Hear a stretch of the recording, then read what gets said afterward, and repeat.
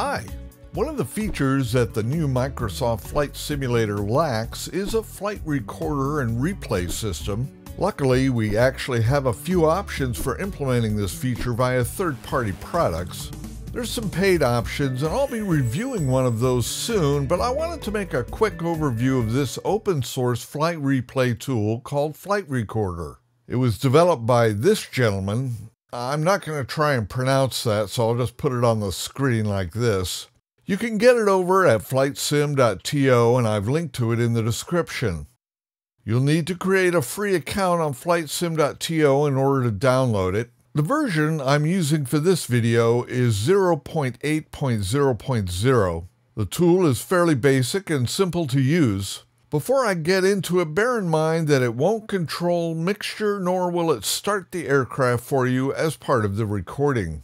You're best served by this replay tool by starting your recording with your aircraft already fired up and ready to taxi or in mid-flight. Additionally, turning off crashes in the sim is also advised. After you download the zip file, unzip it and you'll be presented with a folder called Flight Recorder. You can put this anywhere on your system that you like. There's no install. It's pretty lightweight at about 163 megabytes. Inside of that folder, you'll find a bunch of files, but the one of interest is called flightrecorder.client.exe. I pinned mine to my taskbar so that I can easily get to it by pressing the Windows key while I'm running the sim like this. If you run it before the sim is up and running, it will run up just fine, but it will state that it cannot connect to SimConnect like this. After you fire up your sim, it will connect automatically and you'll be presented with a fairly simple user interface. At the top, you have record and stop recording.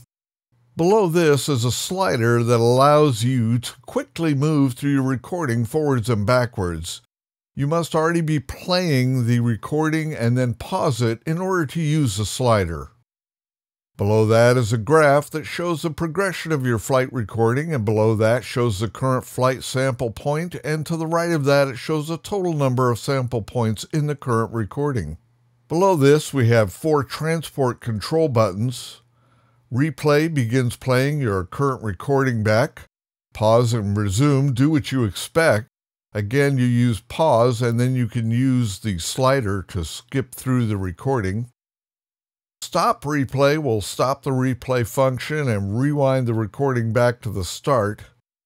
It will leave the aircraft in whatever state it was at when you clicked on stop, so if it was in mid-flight, that's where you'll be left off and free to control the aircraft as normal.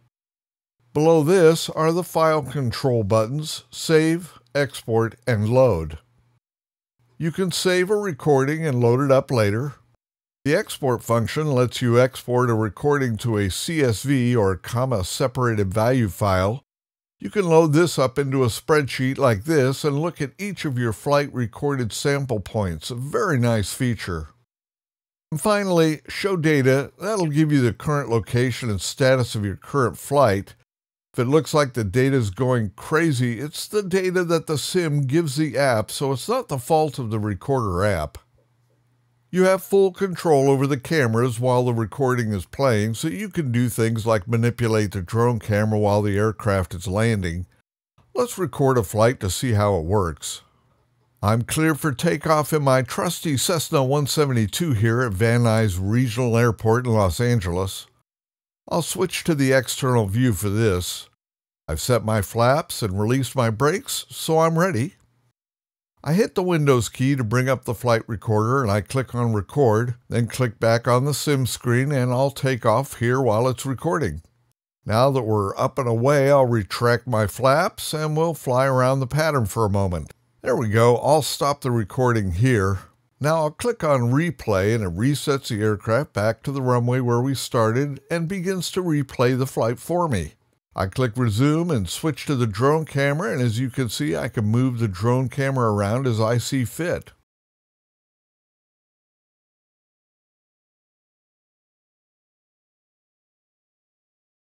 I want to point out that when you load a flight, it won't automatically select the aircraft that you originally recorded the flight with.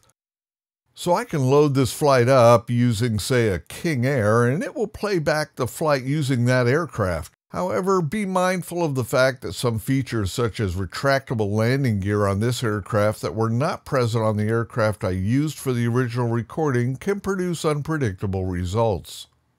I'll start a flight about 100 miles away from where I made the recording.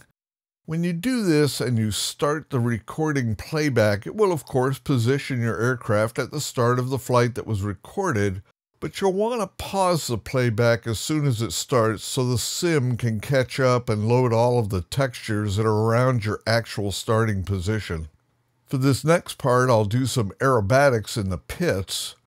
I'm out here in the middle of Kansas to minimize the amount of geometry that the sim needs to render so that we get good performance. I'll do a couple of aileron or barrel rolls like so, and a loop like this.